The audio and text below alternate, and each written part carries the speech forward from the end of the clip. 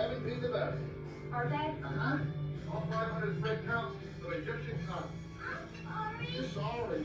I want you to worry about it, buddy. It'll happen again your freshman year of college. So is before bed.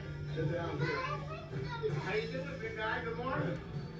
Let's have a big morning. Let's start off with a little breakfast and our Froot Loops. Huh? Here's Daddy's coffee. Here's your bowl of fruit